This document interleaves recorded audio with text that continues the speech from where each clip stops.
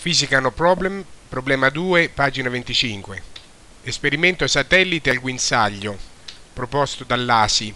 Un piccolo satellite è collegato alla navetta da un cavo d'acciaio durante il moto orbitale all'interno del campo magnetico terrestre che ha linee di forza perpendicolari al cavo. Conosciamo il periodo dell'orbita, 5400 secondi è un'ora e mezza. La lunghezza del cavo sono 20 km e il campo B 50 microtesla. Calcolare la FEM media indotta ai capi del cavo. Si dice anche di assumere che il cavo sia sempre diretto in direzione verso il centro della Terra. Vedremo infatti che in realtà il cavo tende, tenderà a disporsi in direzione obliqua. La situazione è questa, con l'orbita della sonda spaziale sul piano equatoriale della Terra e le linee del campo B, del campo magnetico terrestre, che escono dal sud geografico, dove si trova il nord magnetico, e rientrano nel nord geografico, dove si trova il sud magnetico. Quindi attraversano perpendicolarmente dal basso verso l'alto l'area individuata dall'orbita della sonda spaziale. Questo è il disegno visto dall'alto, questo è il polo nord geografico, queste sono le linee del campo B e questa è l'orbita della sonda che io immagino in eh, senso antiorario. Il disegno non è in scala per una serie di motivi. Intanto perché, come vedremo dopo, l'orbita della sonda è un'orbita bassa, quindi è molto più vicina alla superficie terrestre di come è disegnata qua. E poi il cavo 20 km è cortissimo rispetto al raggio dell'orbita e qui è disegnato invece molto più lungo. Immaginiamo che la sonda inizialmente si trovasse qui, non è importante dove si trovava all'istante iniziale, però giusto così per fissare le idee, immaginiamo che si trovava qui e quindi ha percorso un certo tratto in senso antiorario, quindi questa velocità è positiva. Ho chiamato V la velocità della sonda e V' eh, la velocità del satellite al guinzaglio approssimando queste due velocità come uguali, anche se in realtà vedremo dopo che il satellite tende ad andare leggermente più veloce della sonda e quindi a far inclinare il cavo in direzione obliqua. Comunque la differenza delle due velocità è molto piccola, quindi per adesso consideriamole uguali. Per calcolare la forza elettromotrice che si stabilisce come differenza di potenziale tra A e C, abbiamo due procedimenti che poi sono sempre gli stessi, sono simili a quelli che abbiamo già visto negli esercizi precedenti. Il primo utilizza la forza di Lorentz sui singoli portatori di carica convenzionalmente positivi che stanno nel cavo. Prendiamo uno di questi portatori di carica, che per esempio può essere questo qua, sente il campo B che viene verso di noi, questo portatore si muove verso sinistra con la velocità del cavo e quindi subisce la forza di Lorentz che è diretta verso l'alto, basta applicare la seconda regola della mano destra, pollice sulla velocità, quindi a sinistra, campo B, l'indice verso di noi, il medio ci dà la forza di Lorentz verso l'alto. Il valore di questa forza di Lorentz è QVB, essendo l'angolo retto quello tra la velocità e il campo B.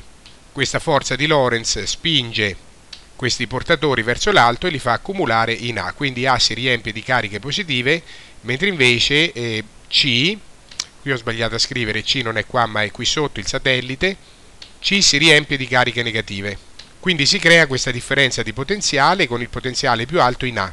Delta V uguale VA meno VC positivo. Come al solito interpretiamo questa forza di Lorentz come una forza elettrica Q per E, quindi il campo elettromotore indotto vale VB solita formula. A rigore dovrei metterci il segno negativo, ma questo lo vediamo meglio dopo. Quindi abbiamo nel cavo un campo elettromotore indotto che va verso l'alto, ma abbiamo anche un campo elettrostatico che nasce dalla differenza di potenziale, cioè dall'accumulo di cariche positive e negative agli estremi, all'estremità del cavo. Come sempre questi due campi sono uguali opposti, hanno lo stesso modulo VB. Noi dobbiamo calcolare la forza elettromotrice indotta, che per definizione è il lavoro per unità di carica e sappiamo che anche la circuitazione del campo elettromotore lungo un percorso chiuso immaginario. Come percorso chiuso immaginario io eh, prendo questa linea chiusa e la oriento convenzionalmente come sempre in senso antiorario.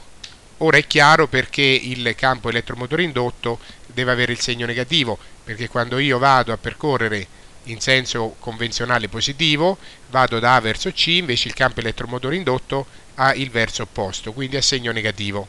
Quindi quando vado a fare questa circuitazione il campo elettromotore indotto lo trovo soltanto nel filo, non lo trovo nel resto del percorso chiuso e quindi questa circuitazione è semplicemente E per L con il segno meno perché il campo elettrico abbiamo detto che ha segno negativo. Quindi meno VB per L perché il campo elettromotore vale meno VB volendo potrei anche calcolare la differenza di potenziale ma sappiamo che è uguale e opposta alla FEM e quindi vale VBL, comunque il valore assoluto, cioè il modulo di questa differenza di potenziale, è uguale alla FEM VBL.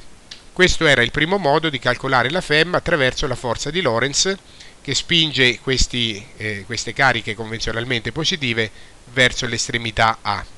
Il secondo modo di calcolare la FEM è quello suggerito dal, dal libro, cioè eh, la uh, formula di Faraday-Neumann-Henry-Lenz. La FEM è la rapidità di variazione del flusso magnetico cambiata di segno. Il flusso magnetico è quello attraverso la superficie descritta da questo cavo che si sta muovendo verso sinistra.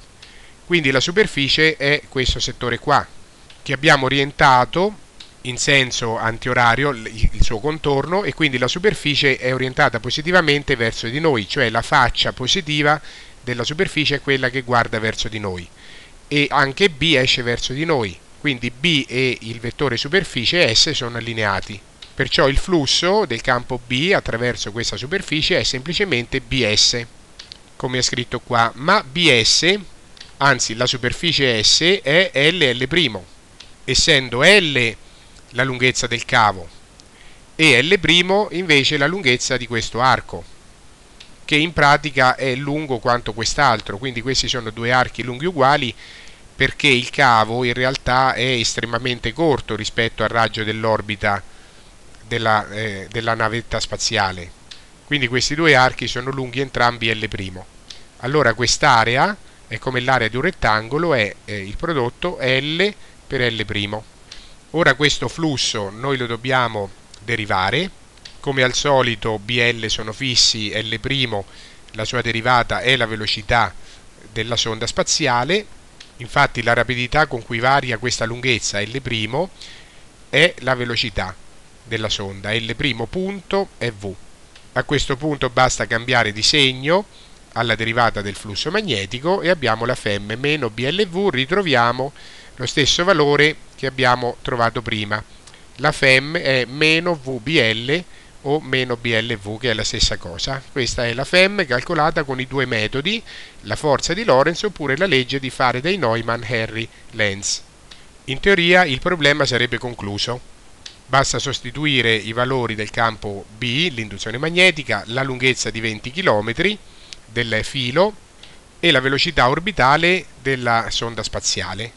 A questo punto però il, il problema è che noi non abbiamo questa velocità orbitale, ma abbiamo soltanto il periodo di rotazione che è di un'ora e mezza. Quindi dobbiamo applicare le formule della gravitazione universale di Newton per ricavarci questa velocità che poi andremo a sostituire nella formula della FEM e calcolare quindi la FEM. Ricordiamo quindi le leggi della gravitazione universale, la forza di gravità di Newton, Gmm su R2, è la forza centripeta che eh, trattiene in orbita la navetta spaziale. Questa è la legge di gravitazione universale di Newton, G la costante di gravitazione universale, m è la massa della Terra, m piccolo è la massa della sonda spaziale e r è la distanza, eh, il raggio dell'orbita, quindi la distanza dal centro della Terra. Invece la forza centripeta, che è rivolta verso il centro, cioè questa formula significa che la forza di gravità è la forza centripeta, che è rivolta verso il centro della Terra e tiene in orbita circolare questa sonda. La forza centripeta è la massa per l'accelerazione centripeta. Semplificando, la massa come al solito non ha nessun ruolo, quindi non ha nessuna importanza la massa della navetta, non cambierebbe niente dal punto di vista dinamico se anche avesse una massa diversa e quindi eh, possiamo calcolare la velocità, però il problema è che non abbiamo la distanza dal centro della Terra, cioè non conosciamo il raggio dell'orbita R, che è questo.